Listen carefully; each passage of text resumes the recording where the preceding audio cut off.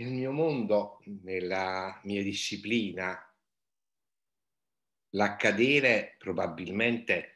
meglio di ogni altra cosa viene sintetizzata da un'espressione, da un termine che usava William Dement, uno dei pionieri della ricerca sul sonno, che intitolava un suo manuale C'è chi veglia e chi dorme, indicando la bizzarra, il bizzarro incontro di mondi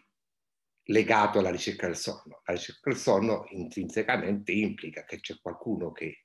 dorme, che viene studiato per questo, ma d'altra parte che dall'altra parte ci sono nel laboratorio, nei laboratori, persone che rimangono sveglie durante la notte e che vegliano sul sonno di chi dorme. Due mondi in qualche modo che coesistono, due mondi che non sono distanti perché ovviamente chi studia il sonno osserva attraverso gli strumenti il sonno di chi dorme durante il suo svolgimento. L'accadere, l'accadere si può raccontare in molto modo. Probabilmente il più, il, più, più, esemplificativo, ma ce ne sarebbe una lista lunghissima, è quando noi registriamo nei laboratori pazienti particolari, vengono chiamati, o meglio, il disturbo di cui sono affetti viene chiamato disturbo comportamentale del sonno REM.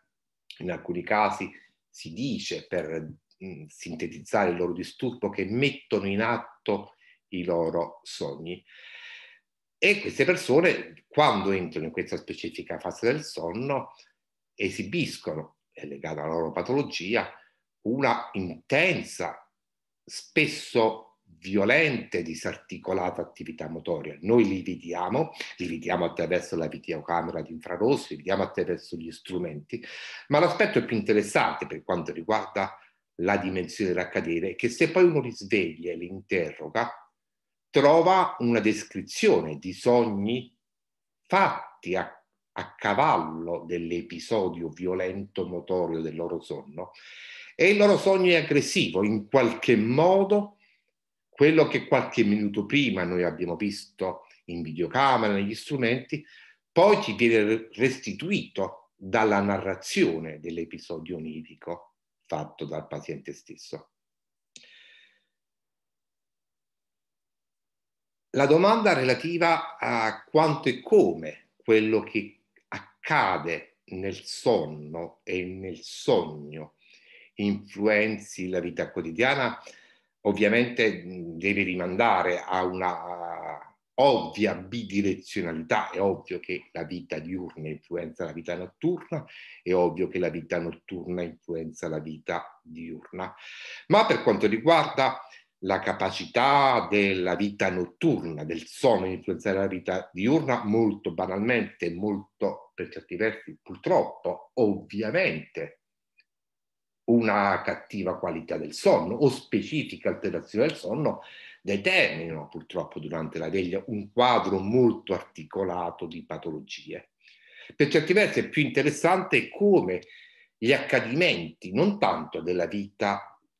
durante il sonno, ma della vita onirica durante il sonno, dei sogni, hanno poi una traslazione nella veglia,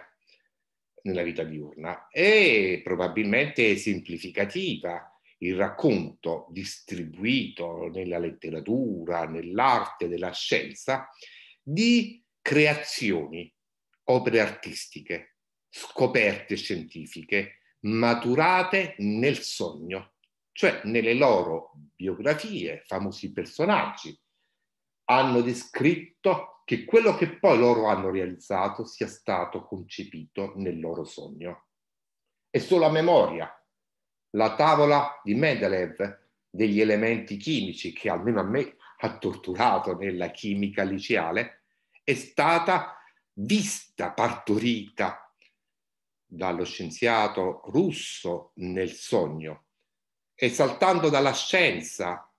alla letteratura, Jekyll e Hyde di Stevenson, ugualmente la trama è stata sarebbe stata partorita nel sogno.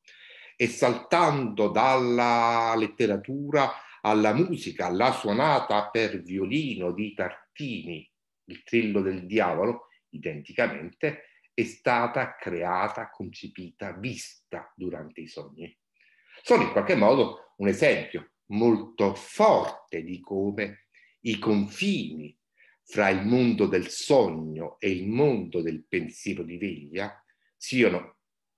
attraverso queste esemplificazioni per certi versi paradigmatiche, spesso molto labili. In questo caso, evidentemente, è un travaso virtuoso quello che avviene fra quello che accade nel sogno, che poi va a riverberare la scoperta, la creazione durante la vita diurna.